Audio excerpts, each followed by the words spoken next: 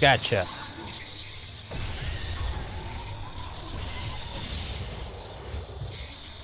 Looks like that blast didn't actually kill her at all.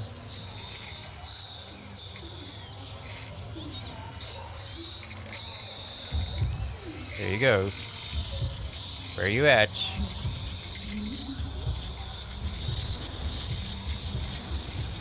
Gotcha.